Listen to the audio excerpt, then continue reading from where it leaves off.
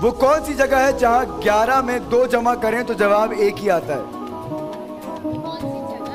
मतलब वो क्या चीज़ है? जिसमें अगर 11 में दो जमा करें तो जवाब एक आता है। 11 में दो जमा करते हैं तो क्या चीज़ है जिसमें जवाब एक आता है?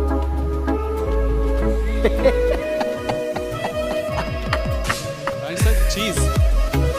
कोई भी चीज़ हो सकती है। जगह चीज़। जगह नहीं है जगह नहीं है। ग्यारह में दो जमा करते हैं।